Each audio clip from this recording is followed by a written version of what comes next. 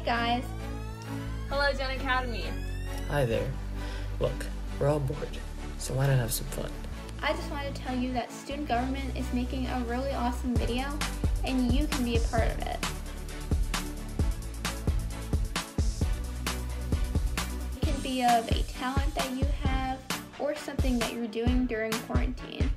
You can submit a TikTok or a video that's less than one minute long, and we're gonna watch them together as a community. You can submit your videos to student government's email address or any one of these email addresses.